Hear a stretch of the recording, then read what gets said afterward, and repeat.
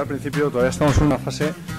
que sigue siendo mucho más importante lo nuestro que lo del rival, porque si no somos capaces de, de asentar nuestro juego, de mejorarlo,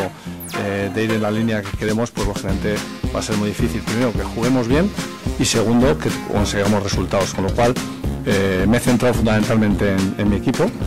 porque consideramos que en la medida que nuestro equipo haga algo mejor va a competir mejor, sea el rival que sea. Ahora bien, Pachuca, pues un rival pues que seguramente es el equipo que más variedad de juego tiene en, la liga, pues es capaz de jugar combinado, es capaz de jugar contraataque, tiene juego aéreo con Nahuel Pan, con lo cual es un equipo pues con mucha variedad y que a mí particularmente me gusta.